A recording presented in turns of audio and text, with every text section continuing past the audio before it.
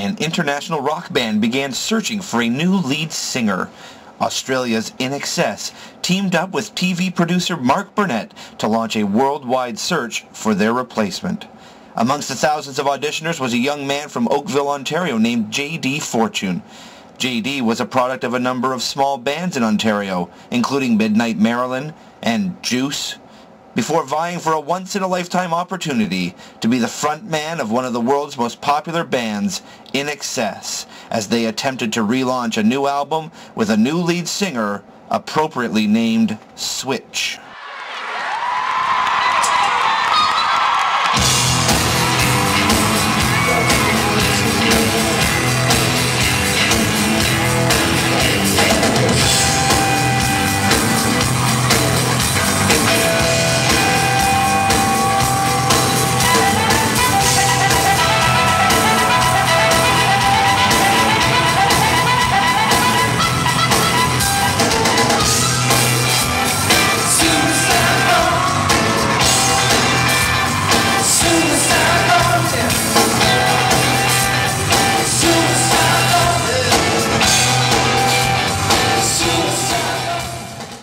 How would the buying public react? JD Fortune. That really has nothing to do with it. I'm more excited to see the band Yeah, itself. sure. I'm, I don't really care about JD. Yeah. We're here to come watch them because we watched the show two years ago and it was so much fun.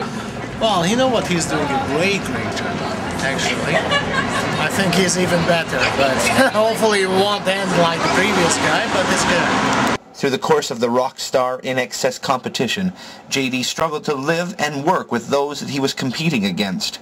After a rocky start, however, JD found a groove and began to become a fan favorite as well as a favorite of the judges, a role held by the members of INXS.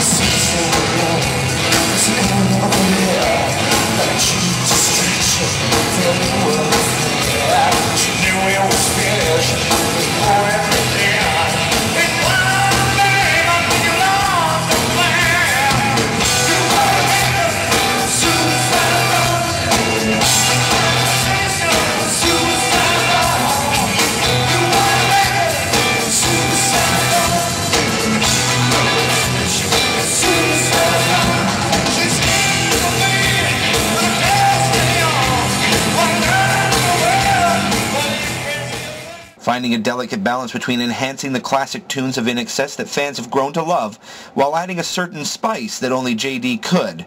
If rock stars are a step away from the edge, JD had found his. if I hope he does a good job, I hope he can pull off the classics. Pull off, yeah, they have. Hopefully they play the old stuff. That would be fun. That's what I'm coming to see. Yeah. It's not new, not new INXS. It's the old INXS. To look at the circumstances facing JD's future. He is attempting to replace a rock icon of the 80s and 90s, winning the role as a reality TV contestant. Is he pop star material or popcorn fantasy? The verdict is still out on that question, but for now, JD Fortune is living a dream.